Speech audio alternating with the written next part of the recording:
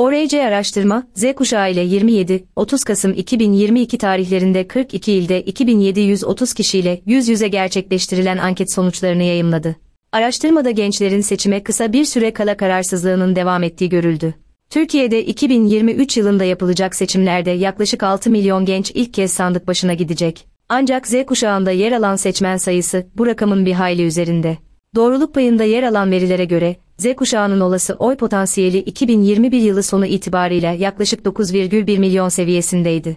ORC araştırma ise 42 ilde Z kuşağına mensup 2730 kişiyle yüz yüze gerçekleştirilen anket sonuçlarını yayımladı. Gençlere bu pazar genel seçim olsa hangi partiye oy verirsiniz diye soruldu.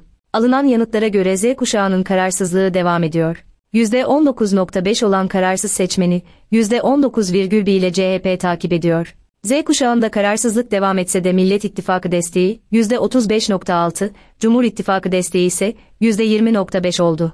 Diğer sonuçlar ise şu şekilde.